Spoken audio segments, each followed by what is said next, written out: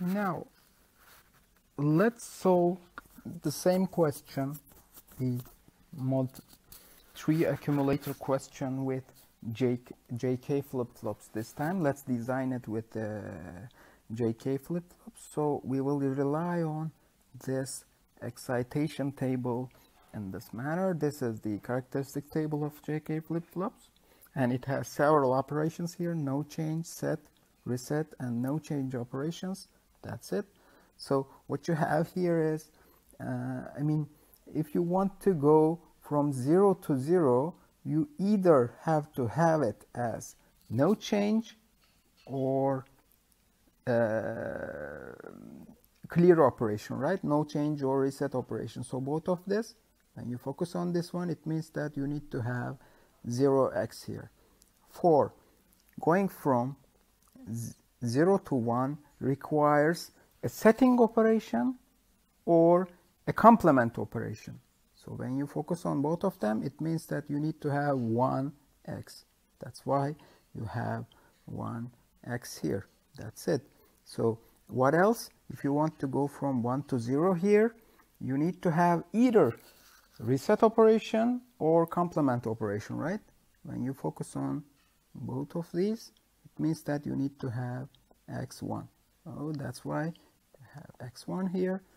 So if you want to go from 1 to 1, 1 to 1 means that you need to have either set operation or no change operation. No change operation or set operation when you focus on both of these means that you need to have x0 for no change, right?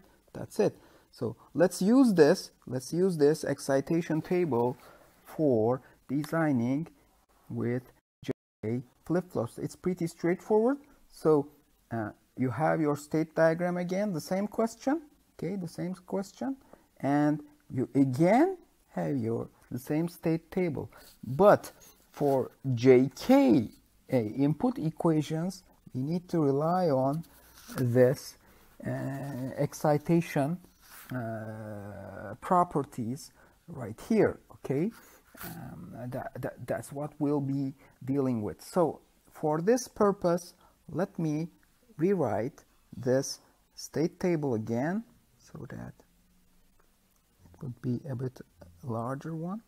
So what you have here will be your again current states y1 y0 0 0 1 1 1 0 this time you will have again your next states but this time they should be uh, j k j 1 k 1 k 0 k 0 1 1 0 k0 j1 k1 0 k0 j1 k1 K1, j0 k0 and finally you will have your z1 and z0 as outputs right here okay? This is for your next state and these are for your x1 and x0 inputs. Namely uh, for what? For 0 0 0 1 1 0 and oops 1 1 and 1 0 inputs right here okay? You will have your uh, necessary input equations here. Okay when you're trying to when you're trying to go from 0 to 0 0 to 0 and uh, what uh, you need to have here should be going from 0 to 0 is 0x right? 0x 0x 0x going from 0 to 0 is 0x going from 0 to 1 is going from 0 to 1 is what?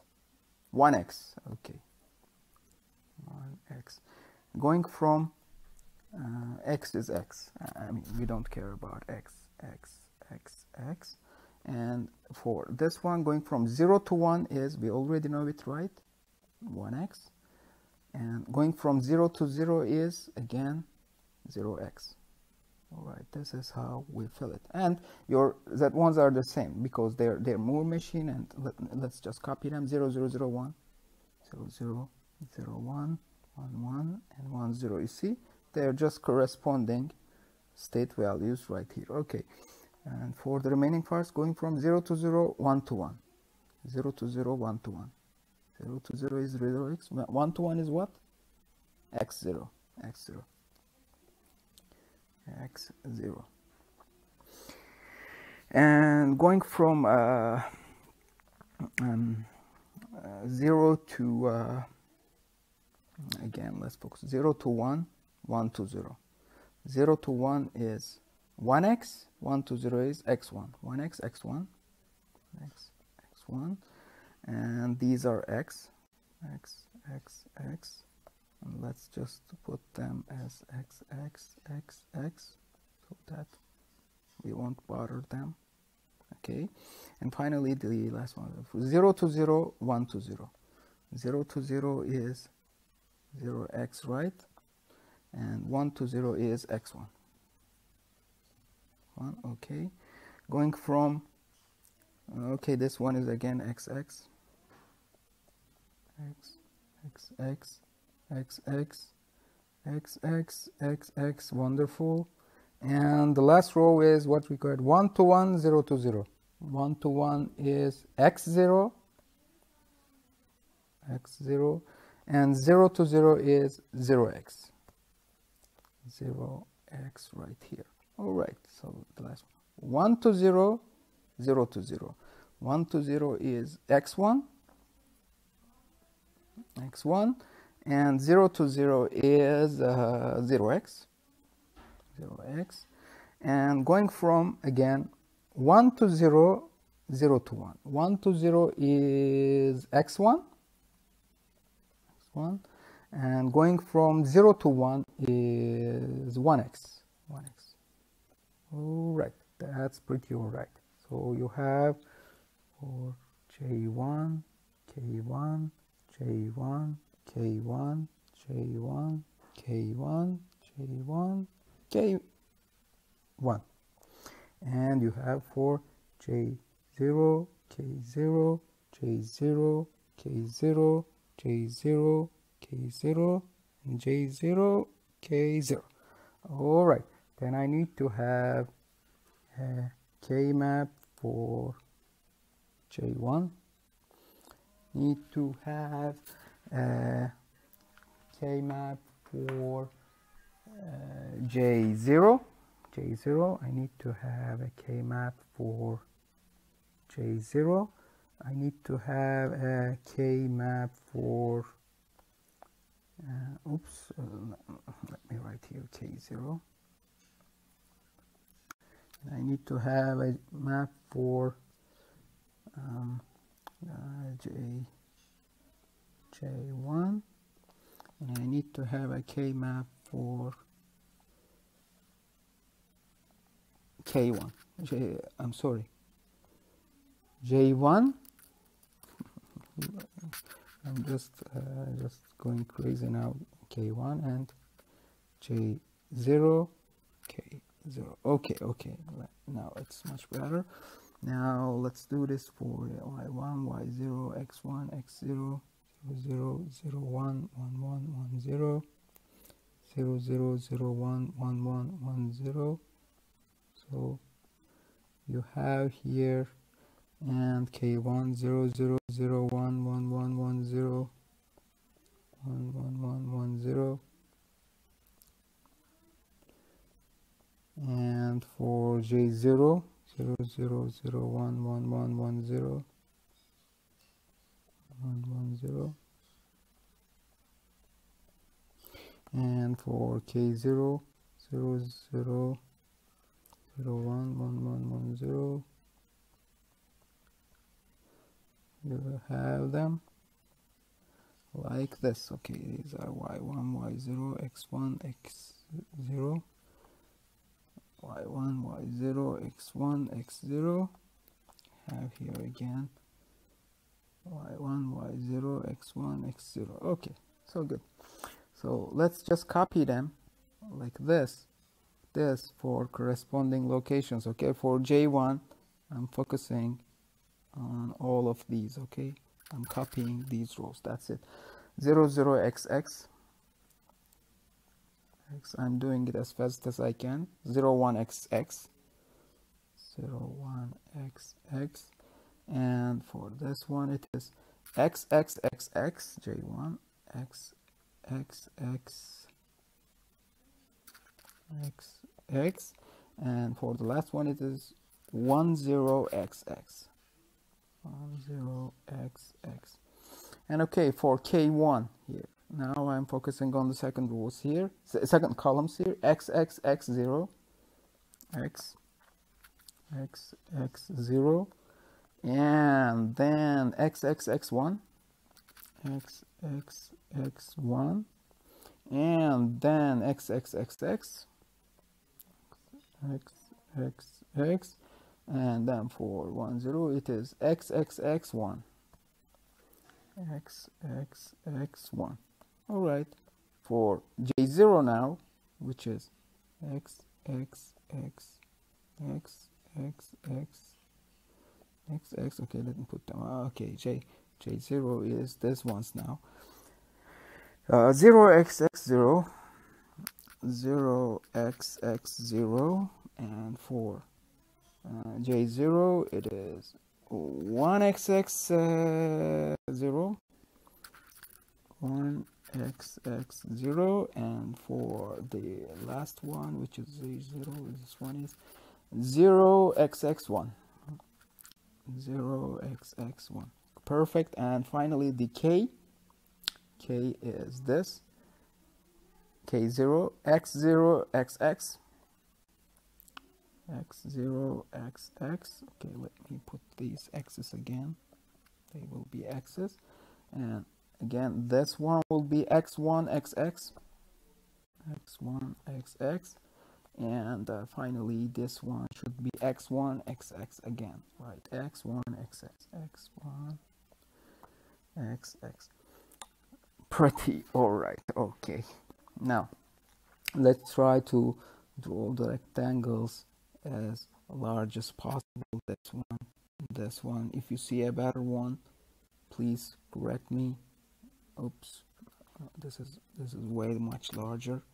And and, and this one is this one is uh, okay.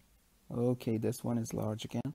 So good good good good good good good. What else i have? This one. And what else i have? I have I have this one all right? And what else i have? I have this one. And what else i have? I have uh, this one i guess right? So good. Now let's write them for J1 that should be let me write this one first which is uh, Y0 Y0 X 0 plus this one is uh, it's uh, Y0 not and uh, X0 great. For K1 it should be let me write this one first. X0 plus let me write this one now. X1 all right. And then for j0 j0 it should be let me write this one first. Y1 not and x0 plus let me focus on this one first this one later. Y1 and x1 okay finally k0 which is I focus on this one now which is uh, x1 no no no no no no no no no no it is x0 plus this one is what? X1 okay now I have my output equations. Uh, I'm sorry, next state uh, input equations and your output equations are, are pretty, pretty straightforward because your output equations are z1 equals y1 and z0 equals y0.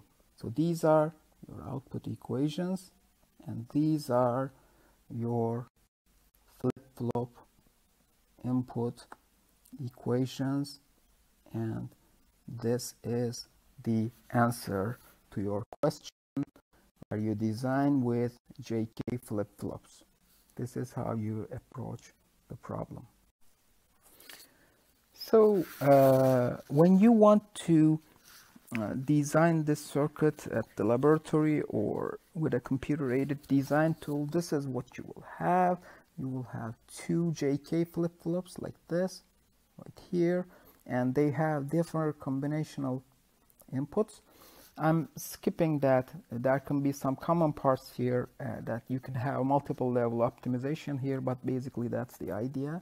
And when you provide the clock signal sorry clock signal here and pack this up as a I mean circuit in the end you will have the same design with uh, so this is the idea by doing the same design using different uh, flip-flop technologies, namely D flip-flops, T flip-flops, and uh, JK flip-flops, and how to use them. I mean, there are some rule of thumbs here that uh, you can take into consideration. I mean, Usually, JK solutions, JK flip-flops often require the fewest gates to implement. You can count the uh, gate cost, if you like, for different uh, questions by designing using JK flip-flops. And T flip-flops are usually the natural choice for counters, for example. Uh, because when you're designing counters, they really require less cost in combinational uh, part for uh, next state input equations.